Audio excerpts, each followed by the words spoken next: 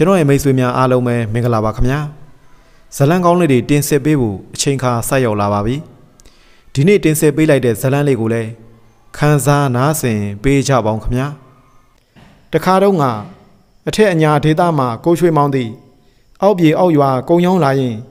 မြဝကျွန်းမော်သူမခင်သွေးနှင့်အကြောင်းပါခဲ့တယ်အညာသားကိုချွေမောင်မှမိဘမဲ့တကောင်းကျွဲ့ဖြစ်၍ဘဲဆွမြို့အတွဲမှကြောင်းကြစရာမရှိ၍ မခင်သွေးနှင့်အကြောင်းပါပြီးနောက်မိမိုက်ဌာနီအောက်ပြင်၌သာအခြေချနေထိုင်တော်တယ်မခင်သွေးမှာကမိခင်အိုကြီးကိုလှုပ်ကြွေပြုစုနေရသည်ရှိရာသူမနှင့်အကြောင်းပါခဲ့သောအညာသားကိုချွေမောင်ကလည်းမခင်သွေးမိခင်ကိုသူ့မိခင်တပွဲအလုတ်ကြွေပြုလေတော့တယ်ကိုချွေမောင်မှလူလုံးလူဖန်ထွားထွားကြိုင်ကြိုင်ရုပ်ရည်အဖြစ်လဲယောက်ျားပြီးသား၍ကြည်ပြော်ချုပ်ပြော်ချစ်သူတူဖြစ်တယ်။မခင်သွေးကလည်း ဖြူဖြူသွဲသွဲချောချောမော့မော့ရုပ်ရည်ရူပကားပိုင်ရှင်ဖြစ်တယ်။သူတို့နှစ်ယောက်ကိုလူတွေကအလွန်လိုက်ဖက်သောဇနီးမောင်နှံဟု၍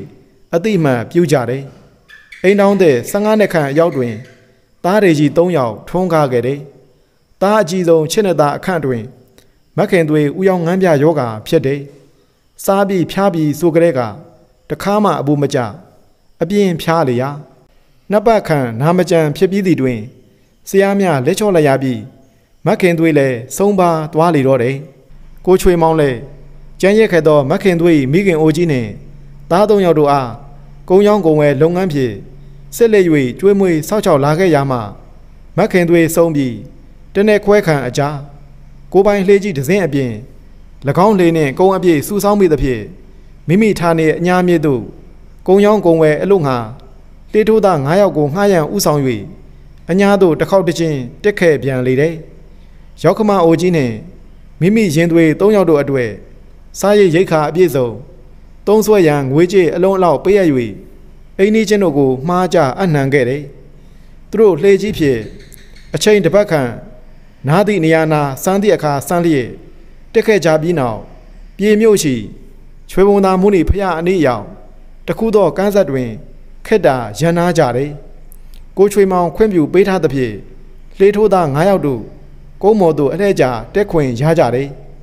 နှညအိတ်ခန့်ရန်နာပြီးလှေပြန်စံမိညာစံမတက်မီအချိန်တွင် ကိုချွေမောင်လည်းသူ့လေကိုတိတ်တဆိတ်လှက်ပတ်ဆက်ဆေးလိုက်ရာလှေပဲ့စင်း၌လှေထိုးသားနှစ်ယောက်ကြိတ်ကြိတ်ကြိတ်ကြိတ်နှင့်တစုံတစ်ခုကိုတီးတို့လုံနေကြကြောင်းတွေးရလေရာသူကလည်းထိုလူနှစ်ယောက်ကိုတိတ်တဆိတ်ပြန်လဲလေးလာရတော့တယ်ဒီကိစ္စ မင်းနဲ့ငါနှစ်ယောက်ထည့်သိတာဘဲသူမှအသိမပေးနဲ့အညာစိတ်ကိုရောက်တော့မှကုန်းမော်တဲပြီးအဆက်အသွယ်ကောင်းကောင်းချားပြီးထုခွဲကြတာပေါ့ကြားလိုက်ရတော့စကားတဲတဲ့ကြောင့်ကိုချွေးမောင်းမှထိုးသူနှုတ်ချေမှပစ္စည်းတစ်ခုအားအလင်းရောင်ဖြော့ဖြော့ချားမှအားဆိုင်ယူကြည့်လိုက်ရာအလိုဖယားဖယားခွေးမာသားနှစ်ကောင်မကြမ်းကောင်းမကြမ်းစီယာကိုကြမ်းစီနေကြပါလားမှန်ပေတယ်ထိုလူနှစ်ယောက်ချစ်တွင် ညံတော်အမြင့်ကိုးလက်မခန့်ရှိသောဖယားချွေးစင်းတူတော်သုံးစုအားတွေးလျက်သောကြောင့်ဖြစ်တယ်ကတဲ့ကရဲ့ကြားနေသောအမောင်းရိပ်အောက်မှာပင်ချွေရောင်တစ်ဖိတ်ပိတ်တောက်လျက်ရှိလေရာအမြင်အားဖြင့်တဆူလင်ချွေချင်းတပိတ်သားခန့်ချိနိုင်သည်ဟု သူခံမှန်းမိတယ်ဒီအတိုင်းကြည့်နေ၍မဖြစ်တော့ဟုယူဆလိုက်ခါဟဲ့ကောင်နေမင်းတို့မကြံစီရတာကို မကြံစီကြပါနဲ့ကွာဒီဖရတွေမင်းတို့ဘဲကရလာတယ်လေ ယူလာတဲ့နေရာကိုအခုလှေမထွက်ခင်ချက်ချင်းပြန်ပို့ပေးကြပါကွာဟင်ရုတ်တရက်ထွက်ပေါ်လာတော့ကိုချွေးမောင်စကားတန်ကြောင်လှေထိုးသားနှစ်ယောက်ပထမတော့အံ့ဩသွားကြတယ်သို့တော့ဒီကိစ္စကျုပ်တို့ကိစ္စခမရနဲ့ဘာမှမဆိုင်ဘူးဝင်းမချုပ်နဲ့မင်းတို့ဗုဒ္ဓဘာသာဝင်တွေမဟုတ်ဘူးလားဖះနဲ့ပတ်သက်တဲ့ပစ္စည်းမလောက်ကောင်းပါဘူးငါကောင်းကောင်းမွန်မွန်ပြောနေတော့အသားတကြီးပြန်ထားလိုက်ကြပါ ပြောမရရင်တော့ သက်ဆိုင်ရာတရားဥပဒေလမ်းကြောင်းပေါ်ကိုရောက်အောင်ငါလုပ်ရလိမ့်မယ်အချင်းလေးကတင်းမာသွားလေပြီလောဘတက်နေသောလှေးသားနှစ်ယောက်ကကိုချွေးမောင်စကားကိုနားမထောင်ကိုချွေးမောင်ကိုစတင်တပ်ပုတ်တိုက်ခိုက်ကြလေပြီထိုလူနှစ်ယောက်မှာကိုချွေးမောင်ရင်ဗလာနှင့်တံပြန်တပ်ပုတ်မှုကိုတူပါနှိုင်းစွမ်းမရှိ၍နှစ်ယောက်တယောက်ဖြစ်စေကမှုရှုံးနေသွားရတယ်။ထိုးစင်မှာပဲစူးစူးညံ့ညံ့အတန်များကြောင့်ကြံလှေထိုးသားသုံးဦးလဲ ထိုးနေရသို့ရောက်ချီလာရာညီအကိုတို့ဒီလေသူကြီးကိုဝိုင်းဝန်းတိုက်ခိုက်ပေးကြပါငါတို့နိုင်ရင်ဟောဒီချွေးစင်ချွေးသားဖះရုပ်ထုတွေကိုထုခွဲရတဲ့အထက်ကမင်းတို့ကိုဝေစုပေးပါမယ်လဲကြနေသောလှေထိုးသားတယောက်ကရောက်ရှိလာသောလှေထိုးသား၃ယောက်ကိုလှမ်းអော်ပြောလိုက်ရာသဘောပေါက်သွားပြီးလောဘစောတိုက်သွားသောလှေထိုးသားတို့ကလည်းကိုချွေမောင်ကိုဝိုင်းဝန်းဖမ်းချုပ်ပြီးထိုးကြိတ်ကြတော့တယ်ဒီတစ်ချိန်မှာတော့ အများနဲ့တယောက်ဖြစ်၍ကိုချွေမောင်မနိုင်တော့ချေဖူးရောင်လာသည့်အထိဝိုင်းဝန်းထိုးကြိတ်ခံရပြီးသတိမေမျောသွားတော့တယ်သတိမလက်ခင်နောက်ဆုံးကြားလိုက်ရသည့်စကားကအင်းခုနေဒီနေရာမှာဒင်းကိုကြိုးတုပ်ပြီးရေးတဲ့ပြစ်ချခဲ့ရင်ရေချောင်းကတိန်တော့တနည်းနည်းနဲ့လော့သွားနိုင်တယ်ဒါဆိုလဲကိစ္စတုံလုတ်ပြက်ခဲ့ပြီးချပြက်ခဲ့တာပေါ့အိုးဒီလိုလည်းမဖြစ်သေးဘူးဒီနေရာကမြို့နယ်နီးတော့ အမှုခဲနောက်ကိုလိုက်လာမဲ့ပလိတ်သားရန်ကရှိနေသေးတယ်ဒါဆိုဘယ်လိုလုပ်ကြမလဲခုနေတော့သူ့ကိုဖမ်းချုပ်ခေါ်သွားပြီးတောတွေတောင်းနေတဲ့နီးတဲ့မြစ်ပြင်ကျဲကျဲရေချောင်းနဲ့နဲ့အဲ့လိုနေရာမျိုးရောက်မှ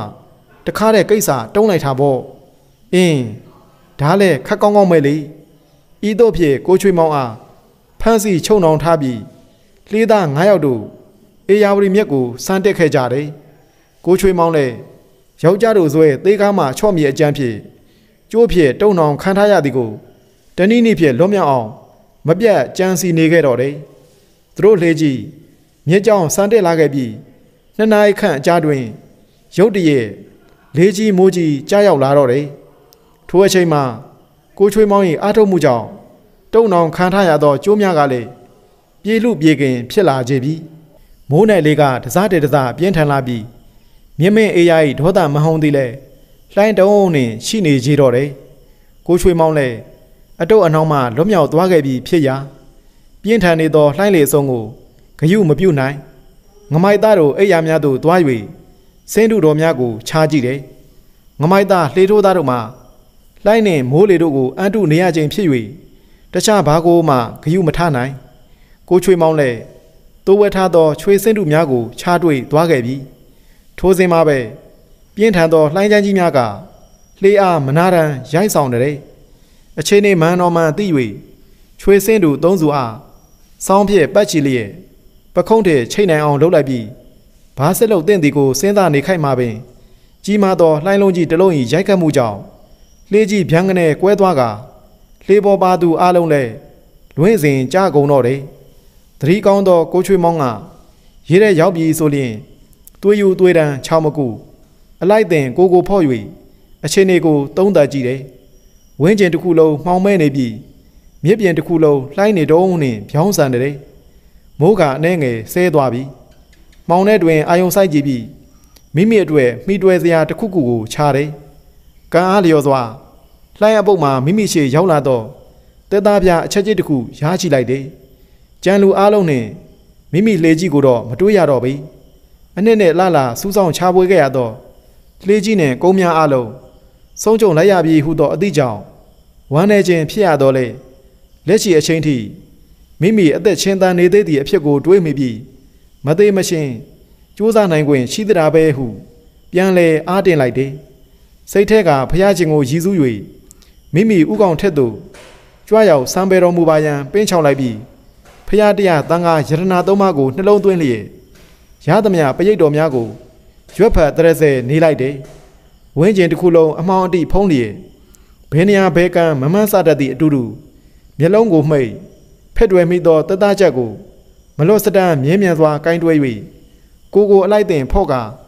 ဖျားတရားကိုသာမပြတ်အာယုံပြု၍မျောကျင်ရာမျောစီတော်ဟု နေလိုက်တော့တယ်သို့တော့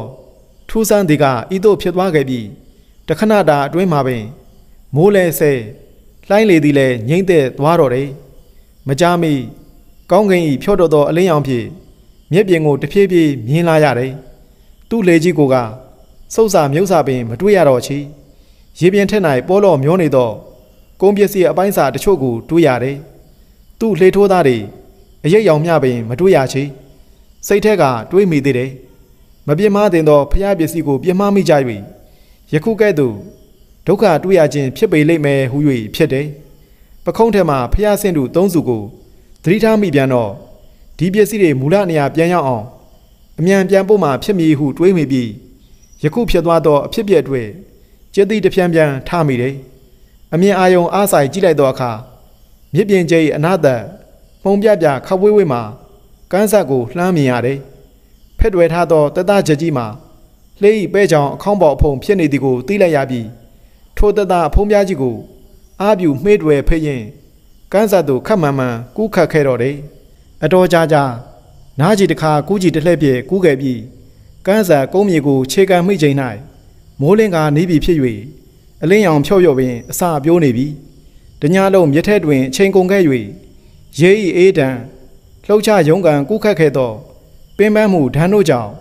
ကုန်းမြေကန်းဆက်ပေါ်ပိုင်ပိုင်နိုင်နိုင်တက်မိသည်နှင့်စိတ်ကိုချော့ချလိုက်ရာ ကိုချွေမောင်မှဒူးညော်ကွေးလျက်မှောက်ကြသွားပါတော့တယ်မြင်းမြကြကြမှောက်လျက်သားမေမျောနေသည်မသိလူတန်းနေနားတဲ့တဲ့တဲ့ကြားလိုက်မှသတိပြန်ရလာတယ်ခေါင်းထောင်ထ၍မျက်လုံးကိုအာယူဖွင့်ကြည့်လိုက်တော့အခါမိမတယောက်၏မျက်နှာကိုမှုံမှုံမွှားမွှားတွေးလိုက်ရတယ်တဖြည်းဖြည်းအကြည့်ထက်ရလာတော့အခါ၌ဟင်နင်းနင်းမြင်တွေ့လိုက်ရသောမျက်နှာကြောင့်အလွန်အားအသင့်စွာဖြင့် အတင်လူလေထမိတော့တယ်အလိုကိုချွေမောင်မလားအံ့ဩစရာကောင်းတော့တဲ့တိုက်ဆိုင်မှုတစ်ခုပါလားချင်းဘလို့ဖြစ်လာရတာလဲပြောစမ်းမအောင်ကိုချွေမောင်မြင်တွေ့လိုက်ရသောအတန်းချင်းမှာပြောသည့်အတိုင်းအမှန်ပင်အံ့ဩစရာကောင်းပေတော့တယ်သူမကလွန်ခဲ့သောတနေ့ခွက်ခန့်မှာကွယ်လွန်သွားပြီဖြစ်သောမိမိဇနီးမက်ခင်သွေးဖြစ်နေသောကြောင့်ဖြစ်တယ်မက်ခင်သွေးနင်းနင်းဖယားဖယား ငါရင်းနေပြီတော့မြသေသွားခဲ့ပြီလားငါကငါသိမှန်းမသိသေးတာလားအံ့ဩတုံလုံးမရင်တုံတုံရီရီနဲ့ရေရွက်မိတယ်ပြောမပြတတ်အောင်လေအကြောက်လန့်ကြီးကြောက်လန့်သွားမိတယ်သူ့ရဲ့ထိတ်ထိတ်ပြပြအမူအရာကိုကြည့်ပြီးသူ့ဇနီးမက်ခင်သွေးကကရုဏာသက်စွာဖြင့်ရှင်မသေးသေးပါဘူးကိုရွှေမောင်ရဲ့ဒါပေမဲ့အံ့ဩစရာကောင်းတာကရှင်ကအရှင်လက်လက်ကျမနေတဲ့ဝေမာနိကာရွာကိုရောက်လာတာပါပဲ ကျမကအရင်ကလို့ချင်းရဲ့ဇနီးမက်ခင်သွေးလည်းမဟုတ်တော့ပါဘူးဝေမာနိကာမက်ခင်သွေးပါချင်းဒါနဲ့ဘလို့ဖြစ်လာခဲ့တာလဲပြောပြအောင်လေထိုအခါမှကိုရွှေမောင်အနှဲငယ်အကြောက်ပြေးသွားပြီးသူဖြစ်ဖြစ်ခဲသမျှကိုတုံတုံရင်းရင်းနဲ့အချင်းချုံ၍ပြောပြလိုက်တယ်ပြီးတော့သူပခုံးတွင်ယခုထက်တိုင်းလွယ်ချိတ်ထားလျက်ချိနေသေးသောစောင်းဖြစ်ပတ်ထားသည့်ချွေစင်းတူသုံးစုကိုလည်းပြလိုက်တယ် အလိုဖျားဖျားရှင်စိတ်ကောင်းရှိလို့သာပဲဒါရီဟာနောင်ပွင့်မဲ့အဲ့ဒီမထီယာဖျားသာသနာအတွက်ယေစုလှူဒန်းထားတဲ့ချွေစင်းတူတော်တွေပဲမပြတ်မားကောင်းတာတွေကိုလောဘတဲ့ပြတ်မားခဲ့ကြလို့ရှင့်ရဲ့လှေထိုးသားတွေအသေးစိုးနဲ့သေးသွားကြရပြီဒါတွေပျောက်သွားမှန်သိတာနဲ့တိုက်ချုပ်ဘိုးဘိုးကြီးကချက်ချင်းချားပြီး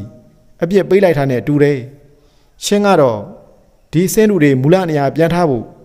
စိတ်ရည်စူးထားတာကိုဘိုးဘိုးကြီးမနှောအမြင်မှာတွေ့နေလို့အသက်မသေးသေးပဲဒီကိုရောက်အောင်ပို့လိုက်တာထင်ပါရဲ့မသေးပြောက်တာပဲတော်လှပါပြီချင်းအေးဒါနဲ့ရှင်းကိုတခုတော့မှားထားရအောင်မေအခုချင်းရောက်လာတာဝေမာတိကာရွာနော်ဒီမှာရှိနေတဲ့လူတွေအားလုံးကျမကအစတယောက်မှလူအဆက်မဟုတ်ကြဘူးအကုန်လုံးဝေမာနိကာတွေကြီးပဲပြီးတော့ကျမက အရင်လိုချင်းမရမဟုတ်တော့ဘူးဒီရွာမှာဝေမာနိကာအကြီးကရဲ့မရဖြစ်နေပြီဒီတော့အခုကလေးကမှားထားမယ်အရင်ကချင်းတဲ့ကျမဘယ်လိုပဲပတ်သက်ပါတယ်ညာလိုပဲပတ်သက်ပါတယ်ဆိုတာဒီဘယ်သူကမှမဟာမိစေနဲ့မခင်တွေရှင်းပြတော့စကားတို့ကြောင့်ကိုချွေမောင်ပါဇက်အဟောင်းသားဖြတ်သွားရတယ်မခင်သွေးကရှင်းပြအပြီးလာကြပါအောင်ဟေ့ဒီမှာလူတယောက်လှေပြဲပြေးရောက်လာလို့ ဝိုင်းကူပေးလိုက်ကြပါအောင်အဲ့ဒီလိုအော်ခေါ်လိုက်တော့ယောက်ျားကြီးနှစ်ယောက်နဲ့မိန်းမတစ်ယောက်တို့ရောက်လာကြတယ်မခင်သွေးပြောပြထားလို့ဒီလူတွေကဝေမာနိကတွေဆိုတာသိထားပေမဲ့မြင်နေရတာတွေကလူတွေအတိုင်းမဲ့မှုကိုရွှေမောင်အံ့အားသိမ့်မိနေတယ်ဒါနဲ့သူတို့အားလုံးကကိုရွှေမောင်ကိုသူတို့အကြီးကဲစိုးသူထမ်းသူခေါ်ဆောင်သွားကြတယ်အကြီးကဲစိုးသူရှိရောက်တော့လေဝေမာနိကာလို့သာဆိုရတယ်မျက်လုံးမျက်ခုံကောင်းကောင်းနှင့် ခန္ဓာကိုယ်တောင်းတောင်းတင်းတင်းချီသောလူကြီးတူကိုမြင်ရတယ်အကြီးကဲဆိုသူထိုလူကြီးကသူ့လူတွေဘက်ကိုမေးဆပြလိုက်ပြီးလေးတန်းခတ်ထန်တန်းဖြစ်ဘယ်လိုဖြစ်လာကြတာလဲထိုကဲ့သို့မေးလိုက်တယ်မက်ခင်သွေးကလေပြပြမျောလာရမှရေစက်မှာတွေ့ရ၍ကဲတင်လာကြောင်းကျန်နာသူ့ကိုယ်သာမေးပါဟုတင်းပြသဖြင့်အကြီးကဲလဲသူ့ဘက်ကိုလှည့်လိုက်ခါကဲ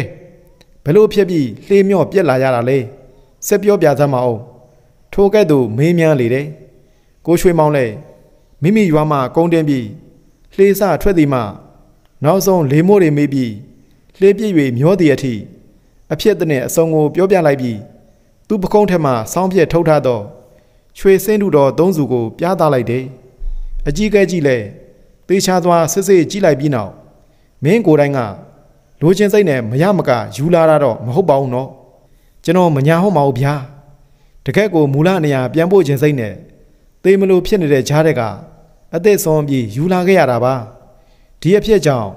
အနှစ်နဲ့လှလှကျွန်တော်ချားပွေစူးစောင်းထားခဲ့တာတွေအားလုံးဆုံးချုံပျက်စီးခဲ့ရပြီမှန်တာပြောရရင်အဲ့ဒီဆုံးချုံခဲ့တာတွေတက်မက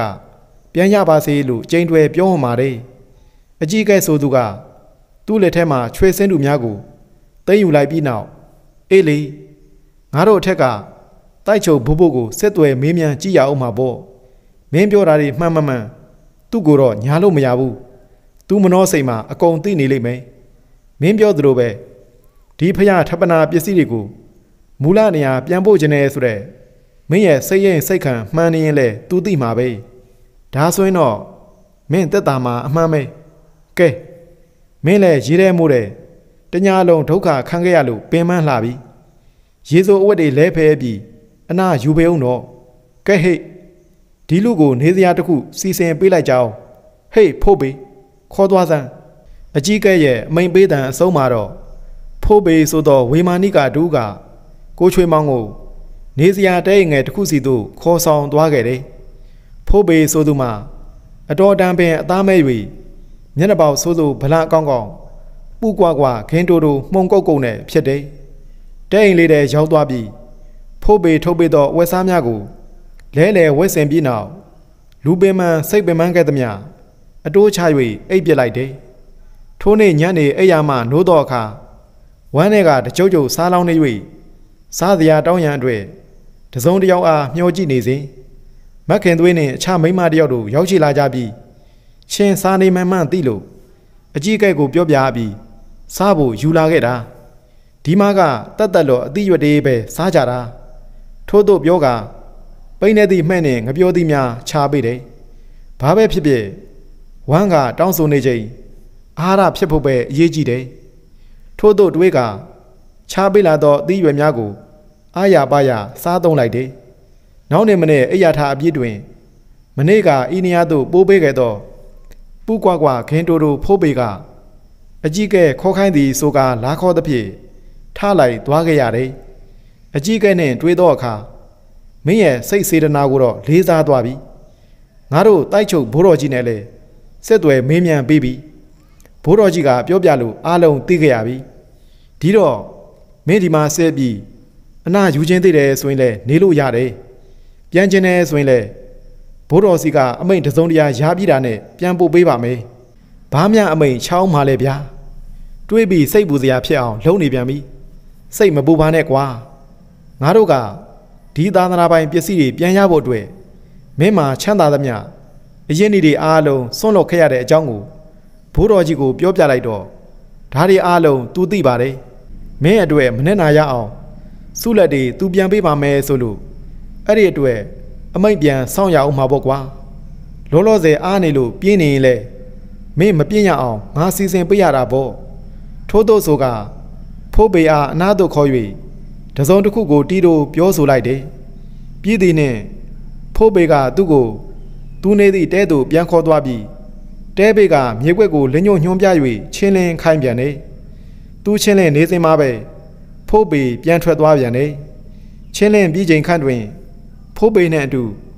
ဝေမာနိကလူနှစ်ယောက်ပါလာဒီကိုတွေ့ရပြီးဖိုးပေကကိုင်းခမရမပြင်းရအောင်ကျုပ်တို့၃ယောက်ထက်ကတကောင်းကိုရွေးပြီး ခမရရွေးတဲ့လူနဲ့နပန်းလုံးချမယ်ဗျာမပြနဲ့ဒါကျုပ်တို့အကြီးကရဲ့အမိမ့်မဲ့ကျုပ်တို့ရောခမရရောလွန်ဆန်းလို့မရဘူးကဲစားကြမယ်ကိုချွေမောင်းလဲစားတွေကလေးကဖုတ်ပေအားစိတ်ရှင်ပေါက်ပေါက်ရှိနေသည်ဖြစ်ရာခမရနဲ့လုံးမဲဟုဆိုကဖိုးပေနဲ့နပန်းလုံးကြတယ်ဗလားချင်းချင်းရင်၎င်းအရက်မောင်းချင်းချင်းရင်၎င်းမိမိကအသားသိရသဖြင့် အလွယ်တကူနိုင်မည်ဟုထင်မိတော်လေဖိုးပေကလည်းခေသူမဟုတ်တက်လုံးတက်ပေါက်အတော်လေးကောင်းလေရာမနေ့ပင်ချင်းပြန်ရတယ်တစ်ချိန်တွင် ဖိုးပေအားမြေတွင်လှဲချ၍မှောက်လျက်ထားလိုက်ပြီးလက်နှစ်ဘက်ကိုနောက်ပြန်အပိုင်ချုပ်နိုင်ခဲ့၍ဖိုးပေအချုံပေးသွားရတယ်ထိုစဉ်မှာပဲမခင်သွေးနဲ့မိမတယောက်ရောက်ကြည့်လာပြီးတော်ကြပါတော့အိမ်ကလူကြီးကလည်းခတ်ကြောင်ကြောင်ဖိုးပေကလည်းခတ်ရွရွနဲ့ ထိကင်နာခြင်းကုံမောင်းမယ်အခုပဲတိုက်ကျုပ်ဘိုးတော်စီကအမိတ်ရလာလို့ချင်းကိုအိမ်ကလူကြီးကခေါ်ခိုင်းလိုက်တယ်မခင်သွေးဟန်ပန်းကကြည်နုဝမ်းမြောက်နေဟန်ရှိတော်လဲသူမပြောပြနေတော့အိမ်ကလူကြီးဆိုတော့အတုံးလုံးကြောင်ကိုချွေမောင်းရင်းနဲ့နင်းကနေဖြစ်သွားမိတယ်ပြီးတော့မှအော်ခုချိန်မှာသူနဲ့ငါကဘဝချင်းလဲချားပြီးတော့သူကငါမရလဲဟုတ်မှမဟုတ်တော့ပဲလေလက်ချီဘဝမှာ သူကဟိုလူကြီးမရဖြစ်နေပြီပဲသူ့ယောက်ျားကိုအိမ်ကလူကြီးလို့ခေါ်တာငါကဝမ်းနေနေဖို့မလိုပါဘူးလေထို့သို့ဖြေးသိမ့်လိုက်ပြီးမခင်သွေးခေါ်ရနောက်သူလိုက်ခဲ့တော့တယ်အကြီးကဲ့ချေမောင်ရောက်တော့အခါဘဲနဲ့လဲဟိတ်မင်းကလည်းအာကလူပါလား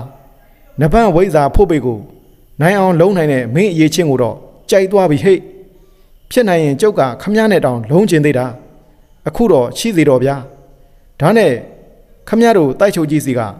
ဘယ်လိုအမိန်ထူးပြီလဲဗျဟာဟာမင်းကတော့ကွာတကယ်လူပဲအေးအေးတိုက်ချုပ်ဘိုးတော်ကြီးကမင်းကိုဟောဒီဆုလက်တွေချားပြီးဌာနေကိုပြန်လွတ်ဖို့အမိတ်ချလိုက်တယ်ကွာထိုးတို့ဆိုကသူ့ချေတို့အထုပ်ကလေးတထုပ်နဲ့ကြီးတောက်ဖို့တပူးကိုချပြတယ်ဟဲ့မိမအထုပ်ကိုဖြေပြလိုက်စမ်းအကြီးကဲကမက်ခင်သွေးအားခိုင်းစေလိုက်တယ်မက်ခင်သွေးက အထုပ်ကိုဖြေပြလိုက်တော့အခါဝင်းလက်နေတော့ချွေးစင်ချွေးသားချွေးတင်ငါးပြားဆယ်ပြားကိုတွေးရတယ်ကိုချွေးမောင်းရင်မျက်နှာမှာလဲချွေးတင်ငါးများလိုဝင်းလက်တောက်ပါသွားတယ်အဲ့ဒီချွေးတင်ငါးပြားတွေထုခွဲလိုက်ရင်မင်းရဲ့လှေကြီးနဲ့ရင်းနှီးထားရတဲ့ကုန်းစီတွေတန်းဖို့မကမင်းပြန်ရမှာပါကြီးတော်ထဲကတော့ငွေသားအကျွေးတွေ